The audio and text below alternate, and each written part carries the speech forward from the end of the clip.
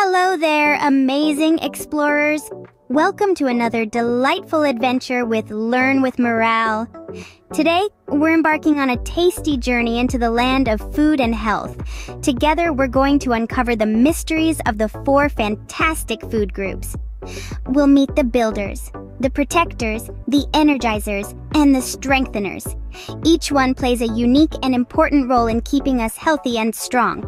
So, are you ready to embark on this tasty adventure? Great! Here we go. In the wonderful world of food, there are four main groups. Can you guess what they might be? First, we have the builders. These are foods like meat, eggs, and fish that help us grow and repair our bodies.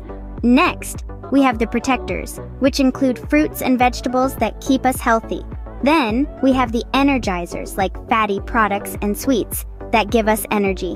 Last but not least, strengtheners like milk help our bones stay strong. Remember, a balanced meal has a little bit from each group. That's how we stay healthy and strong. Now imagine a pyramid. No, not the ones in Egypt, but a food pyramid. This pyramid is not made of stones, but of delicious foods that keep us healthy and strong. At the very top, we've got sugar and sweet products and fatty foods. These are like the cherry on top of a sundae, yummy, but we should only have a little. Next, we have milk and dairy, meat, eggs, and fish. They are our body's builders, helping us grow strong and healthy. Just beneath them, there's a layer of fruits and vegetables, our body's protectors. They help us fight off sickness and keep us feeling great. And at the base of our pyramid, we find starchy foods like bread, pasta, and rice. These are our body's energizers, giving us the energy to run, play, and learn. They're at the base because we need more of them than anything else. So the food pyramid helps us understand how much of each food group we need. Isn't that cool?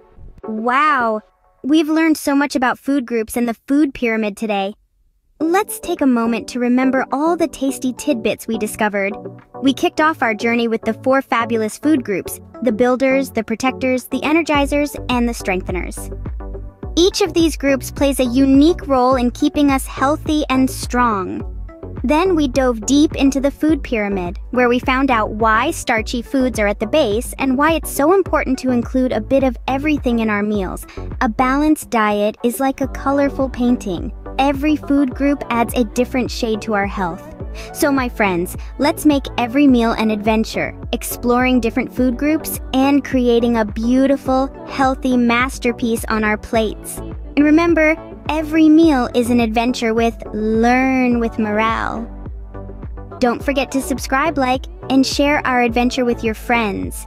See you on our next adventure.